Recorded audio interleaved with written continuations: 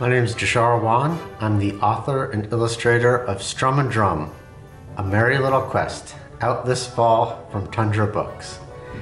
It's about two little musicians who decide to journey through a mysterious forest in order to reach the great star in the north. Along the way, they see many strange sights and even receive a warning from a soldier prince with a toothy grin.